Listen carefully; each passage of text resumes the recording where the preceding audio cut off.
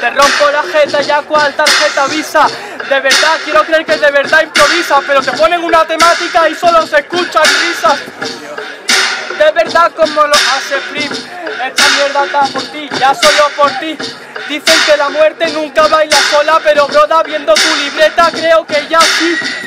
Porque baila como le sale de los cojones, tú tranquilo que me comen los cojones. Está muy guay lo de las terminaciones, te ha dado fama, pero no patrocinadores.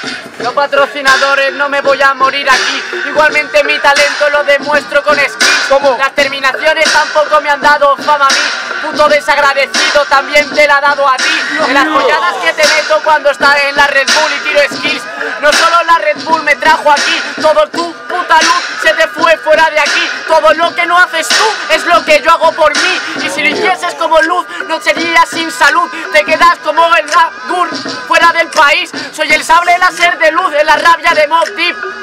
Como Hulk con el pelo Saiyajin. Gilipollas, de verdad, si hoy yo te gano en la plaza, que eres peruano, pues me cago en toda tu raza. Y ahora me dices que a mí no me debes nada, gilipollas.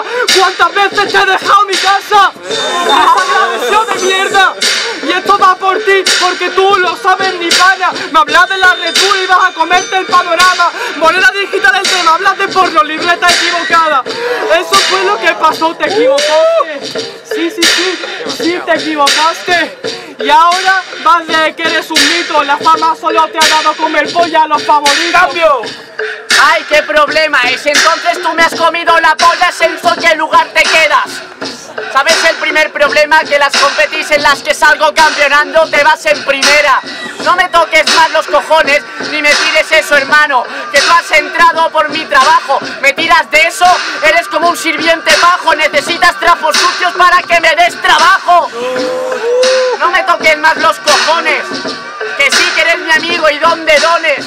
Muchas veces me has dado tu casa, pero no por lo que piensas. ¿No has escuchado ruido raro con tus progenitores? ¡Yeah!